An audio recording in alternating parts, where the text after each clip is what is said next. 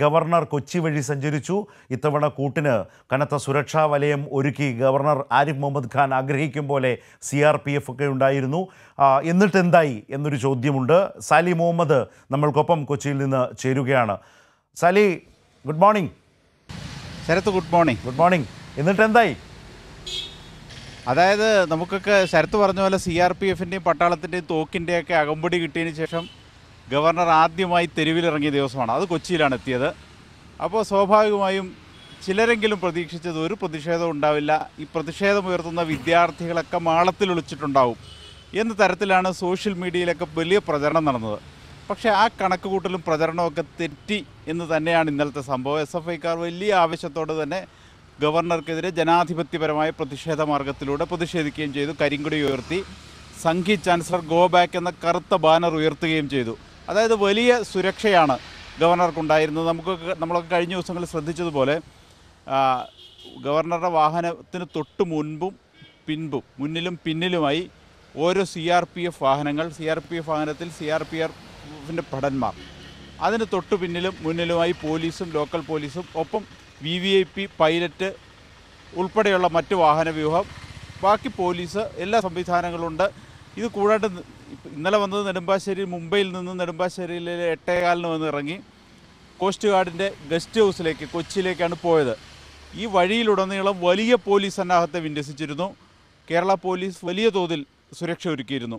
പക്ഷേ ഈ സുരക്ഷയൊക്കെ മറികടന്നുകൊണ്ട് തന്നെ എസ് എഫ് ഐ പ്രവർത്തകർ ഗവർണർക്ക് ചാൻസലർ ആരിഫ് മുഹമ്മദ് ഖാന് കരിങ്കൊടി കാണിക്കുന്നതാണ് കണ്ടത്. നമുക്കൊക്കെ അറിയുന്ന പോലെ സെനറ്റിലേക്ക് ആർ എസ് എസ് നോമിനികളെ തിരികെ കയറ്റാൻ ഗവർണർ ശ്രമി നടത്തിയ ശ്രമത്തിനെതിരെയുള്ള പ്രതിഷേധം സംസ്ഥാന വ്യാപകമായി എസ് എഫ് ഐ പ്രവർത്തകർ തുടരുകയാണ്. അതിന്റെ ഭാഗമായി കഴിഞ്ഞ ദിവസം കൊല്ലം നിലമേലിൽ നടത്തിയ പ്രതിഷേധത്തിനിടയിലേക്ക് ഗവർണർ ഇറങ്ങി വരികയും വലിയ വിമർശനം ഷോ എന്നൊക്കെ വിമർശനം കേൾക്കേണ്ടി വന്ന ഒരു തരത്തിലുള്ള ഒരു നടപടി ഗവർണറുടെ ഭാഗത്തു ഉണ്ടാവുകയും ചെയ്തു. അത് വലിയ വിമർശനത്തിനിടയാക്കി. പക്ഷേ അതുകൊണ്ടാണോ എന്തോ എന്നറിയില്ല. ഗവർണർ ഇന്നലെ ഇറങ്ങിയില്ല. ഇന്നലെ അദ്ദേഹം ആ വാഹനം തന്നെ നേരെ വാഹനത്തിലിരുന്ന് ഈ മാധ്യമപ്രവർത്തകർക്കും ഈ പ്രതിഷേധക്കാർക്കും ഒക്കെ കൈനേരെ കൈവീശി അദ്ദേഹം കടന്നു പോവുകയാണ് ഉണ്ടായത്. അദ്ദേഹം ഇറങ്ങി വീണ്ടും ഒരു ഷോയാണ് ചിലരെങ്കിലും പ്രതീക്ഷിച്ചതെങ്കിലും അതുണ്ടായില്ല. കാരണം അങ്ങനെ അങ്ങനെ ഒരു സംഭവം ഉണ്ടാവാൻ അങ്ങനെ ഒരു പ്രതിഷേധവും ഒക്കെ ഉയരുമ്പോഴും ഉണ്ടായിരുന്ന ഒരാശങ്ക പൊതുവിൽ. കാരണം സി ആർ പി എഫ് ഭടന്മാരുണ്ട് അവർക്ക് ആക്ഷന് സാധ്യതകളുണ്ട്. വെടിവെപ്പ് അടക്കമുള്ള സംഭവവികാസങ്ങളിലേക്ക് വേണമെങ്കിൽ അവർക്ക് കടക്കാം. അങ്ങനെയൊക്കെ ഒരു ആശങ്ക പ്രചരിപ്പിച്ചിരുന്നു.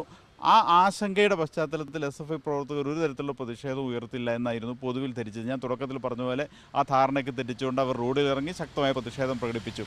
ഈ എസ് എഫ് ഐ പ്രവർത്തകർ മുട്ടത്തിനും പ്രീമിയർ ജംഗ്ഷനും ഇടയിൽ ഒരു കേന്ദ്രത്തിലായിരുന്നു സംഗമിച്ചിരുന്നത്.